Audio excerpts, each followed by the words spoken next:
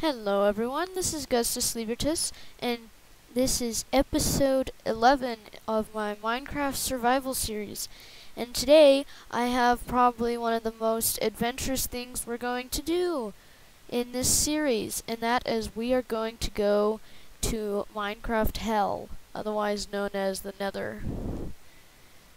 It's the place of demons. But first, I want to show you guys some things that I did. So, I'll show you guys what I did. As you can see, my armor, I I spent a bunch of XP enchanting it. And I made a murder hole system. So the idea is that monsters think this is a solid block, so they'll walk over it. It To them, it technically is. And they will fall in here, and as you can see, there's a little hole, and if we go back inside, and I'll show you another secret. The oldest trick in the book. So, watch this. I know, it looks like I just went through a solid wall, but actually, you can place a painting on the side of these fences. The one sad thing is this, if anybody sees a painting, they will automatically try to walk through it, if it is possible. Oh, I like that one better. So you can hit them through here and they can't see you or fight back. And I also dug another level with a mine and a little enchanting room. And over here we have an armor dispenser, so if we ever die, I have extra armor in here that we can just quickly put on. But, we, like I said, we're going to the nether. And so we need to make a portal. To make another portal, you need 10 obsidian or 14. If you only have 10, you can just fill in the corners and build it like, um,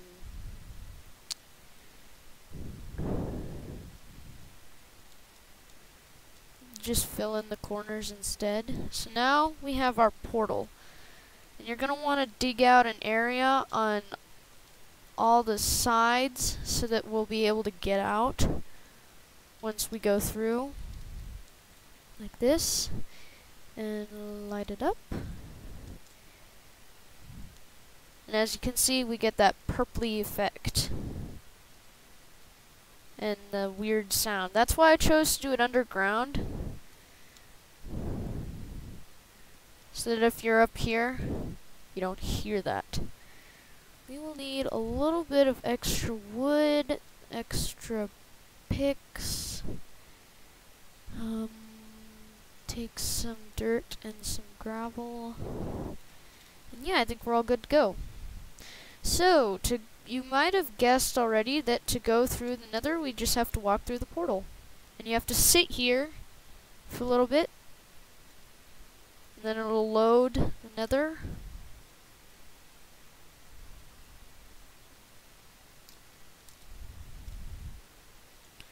And as you can see, it's a pretty gloomy looking place.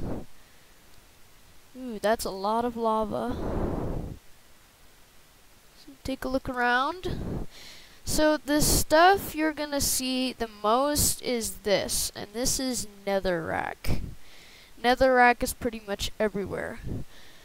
There's also nether quartz, which looks like this, and it is actually one of the fastest ways to get XP is mining nether quartz.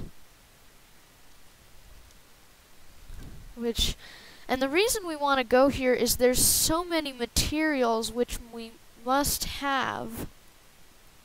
There's some zombie pigmen over there.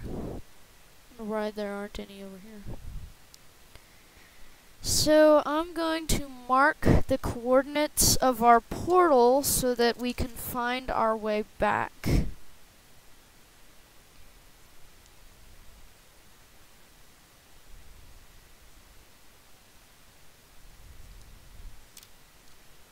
Okay. I hear a ghast. Ghasts sound like cats. Cause actually the create the person who was recording sounds for Minecraft, he was recording and his cat woke up and they distorted it. Oh, hello. This is zombie pigmen. They are like wolves. If you hit them, all them will come towards you. But if you don't, you will be perfectly fine and they will just stare at you. Ghast! We need to kill one. Oh, he despawned!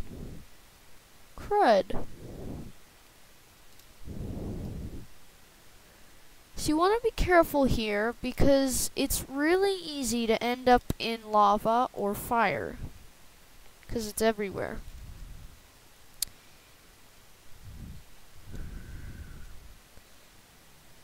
This, oh, if you see glowstone, you'll want to go up and mine it. So just make a pillar up. And then just go out like this. And you'll make a little platform. So I'll meet you guys back here once this is done. Okay, so I finished our platform. So now you can mine glowstone, and it'll drop glowstone dust. And the reason we want the platform is so we can mine it, and it'll drop the stuff on our heads instead of down into a pit of lava or whatever.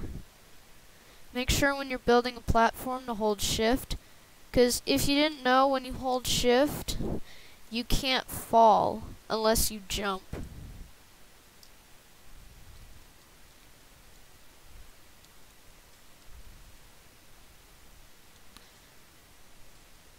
Go back for the rest of that.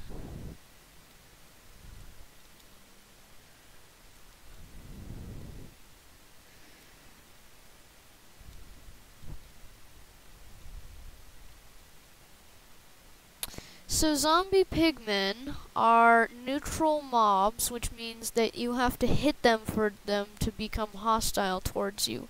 Oh look, it's a baby! Hey there. Oh, another one. They will spawn in any two block space in the nether, no matter what the conditions are. So there tend to be lots of zombie pigmen, unless it's in peaceful mode. And I should tell you something. Do not be afraid to turn to peaceful mode if you're um, nervous or if it, things are getting out of hand. It is a perfectly good thing to do. I do it sometimes. Not very often, but occasionally things will get out of hand. So, we are looking for something.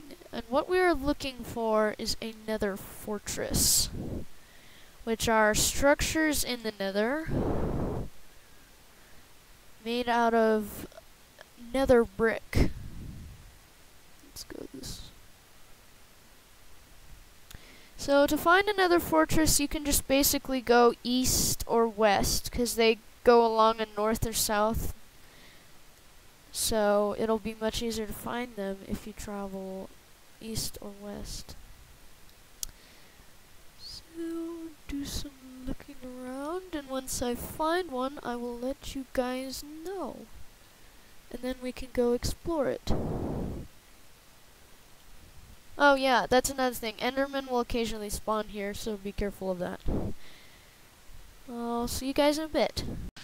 So, I haven't found what I'm looking for yet, but I found these guys. These are magma cubes. and they are hostile to you, and the bigger ones drop um, magma. I can't remember what it's called. Magma cream. That's right. And we need that for brewing potions. Is that another fortress? It's just a void. So I just wanted to show you guys that they spawn occasionally here, just thought you might want to be aware. You can kill them. If you find bigger ones, excellent kill them. You'll need their cream. Oh, another ghast. Maybe we can kill it this time.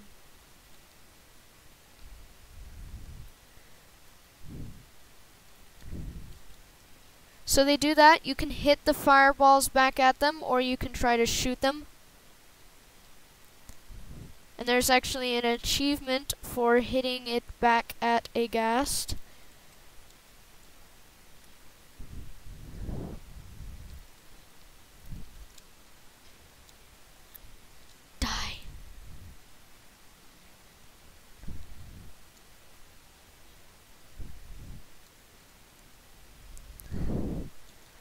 need to get closer.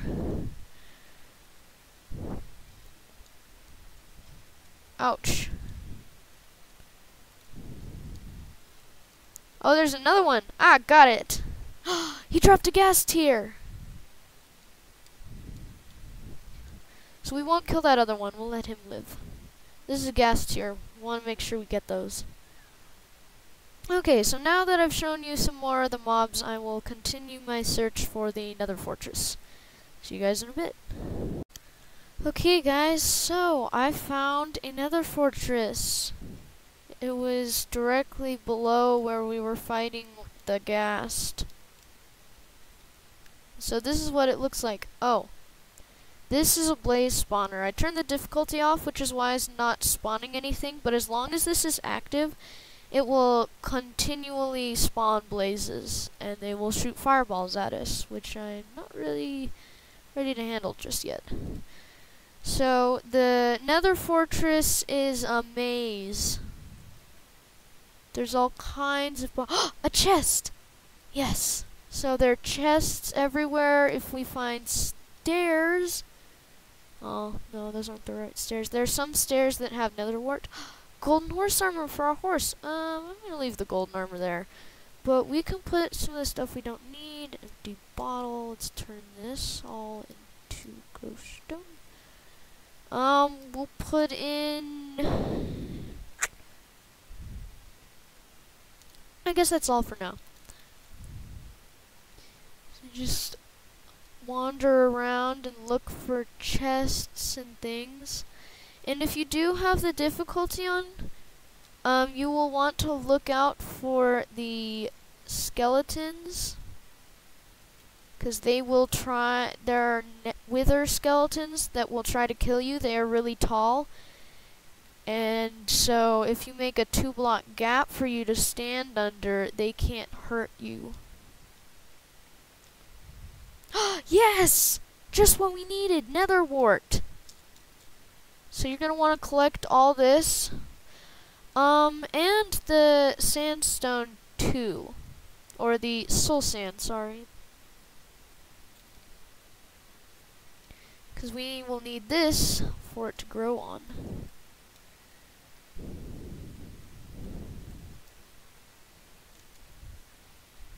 And when we have potions, we can give ourselves magical abilities. Oh, more! And more chests. Well, I'm gonna loot around and grab stuff. And I'll meet you guys back here once I'm done.